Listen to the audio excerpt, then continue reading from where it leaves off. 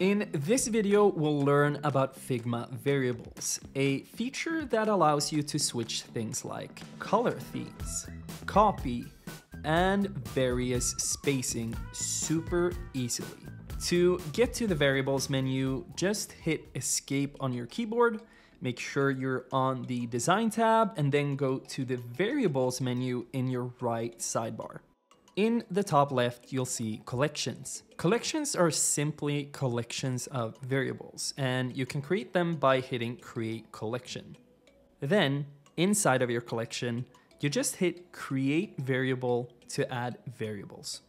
Our first collection will define our base variables, commonly referred to as primitives by design system wizards. This include things like base colors and base sizes.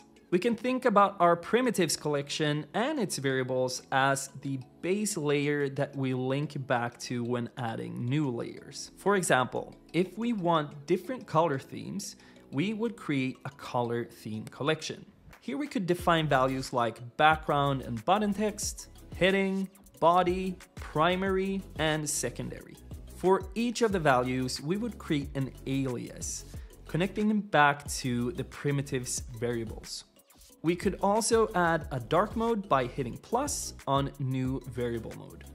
Here we'd just invert the values and call it a day. However, unfortunately, modes are only available on the Figma Pro plan. I know, I've um, cried myself to sleep a bunch of times already.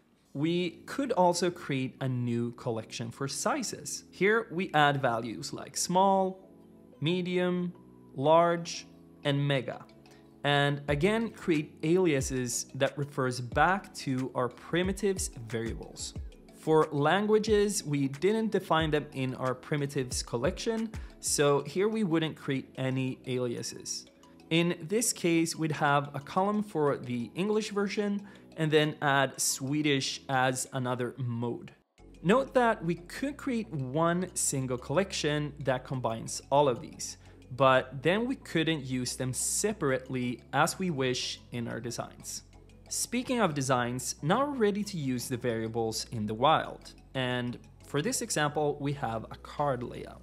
If we highlight our card and link one of our colors, for example, the background color, we can then go to layers in the right sidebar and change between dark and light mode. Now, as you can see, we should make sure that we link all colors before changing themes.